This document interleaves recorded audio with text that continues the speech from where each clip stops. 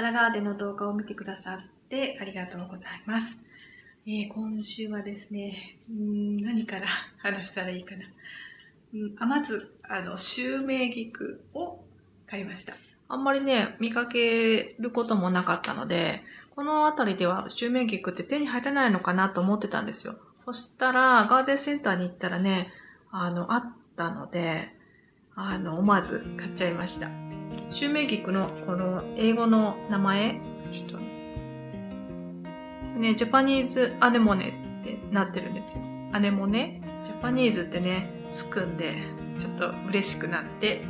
買ったっていうのもあるんですけど。もちろん私が最近買うあ花の条件は鹿が食べないっていうのをあの条件に今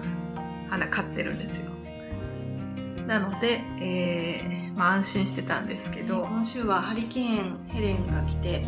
今回はね、ジョージアの私の住んでる家の上もこう通過してったんですけど、まあ、なので、皆さん気をつけてくださいってね、あの言われてたんですね。でも、気をつけるって言ってもね、あの、あんまり対策のしようがなかったんですけど、で、あの、いざ台風が来たってなったら、まあちょっと風もあって雨もあったけども、まあそこまでそんなに、あの、外歩けないっていうほどじゃないなって思って、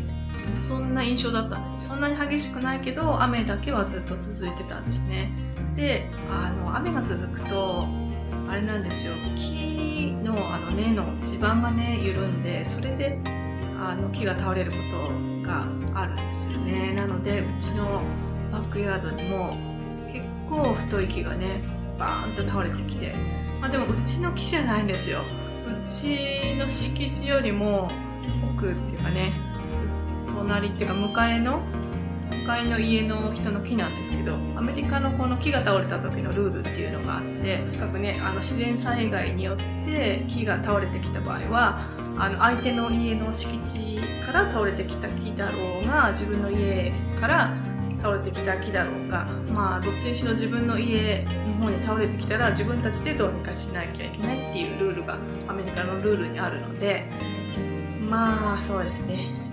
まあ、業者に頼んだらやっぱり何百ドルとか1000ドルとかいかないかぐらいまでかかっちゃうので自分たちでねあの頑張ろうっていうことでホームセンターに行ってレンタルチェーンソーをねレンタルしてガーッと、まあ、切ったのは主人ですけどまあなんとか片付けました。まだねあのそのなんだ壊されたフェンスとか、まあ、ちょっとしたパティオのねあのパートが壊れたんですけどもまあ被害は、まあ、木が倒れた割には被害は少なくてであの植えたばっかりのあのシュウメイギクもその時は、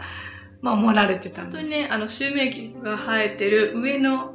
上をね、こうガーンってくる感じで、もうちょうどシュウメイギクは、あの、奇跡的に助かったんですよ。ちょっとね、台風の、あの、被害からね、ギリギリ免れたっていうか、もう奇跡のシュウメイギクとか思って喜んでたんですよ。ちょうどつぼみもね、こう、膨らんで、こう、ほころび始めてたんでね、あもう明日はもしかしたら咲いた姿が見れるかななんて期待してたらその翌朝ですよね。あの裏庭のドア開けたら鹿がタタタって走っててん？と思って。最近鹿見てなかったんですよ。多分森にどんぐりとかが落ちてるからどんぐりでも食べてるのかな？わかんないけど。でもねこれハリケーンがあったんでこの辺をね偵察に来たんでしょうね。どうなってるか。そしたらですね、まあ1匹だけじゃなくて3匹もうろうろしてて、あであもしかして私のあの種をまいたばっかりで芽を出した野菜が食べられちゃってるかもと思って、ただだって見に行ったら、そこは大丈夫だったね。ああ、大丈夫だった。よかったって。ここが大丈夫だったらもう大丈夫かなと思ったら、あれ？奇跡のシュウメイギクが食べられちゃってたんですよ。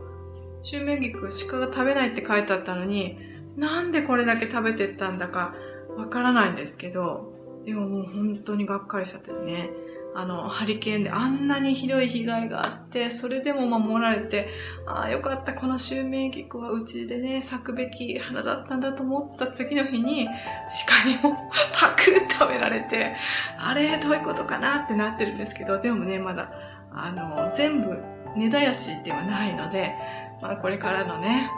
あの、成長に期待したいですね。希望を持って、もう来年は、あの、襲名菊花盛りにできたらいいな、と思ってます。でね、久しぶりにあの、アートイベントも終わったので、えー、森に行ってきました。ね、森でこう深呼吸して、とっても、あの、リフクレッシュできました。可愛いキノコもね、いて、なんか奈良竹に似てるキノコあったけど、うーん、ちょっとやっぱりね、勇気がなくて、食べたりはできなかったんですけど、でもね、キノコ見るの可愛いですよね。楽しかった。今回も動画最後まで見てくださってありがとうございます。また、あコメントとかあ、いいねボタンとかしていただけると嬉しいです。それから、チャンネル登録ぜひしてください。よろしくお願いします。では、次の動画でお会いしましょう。バイバーイ。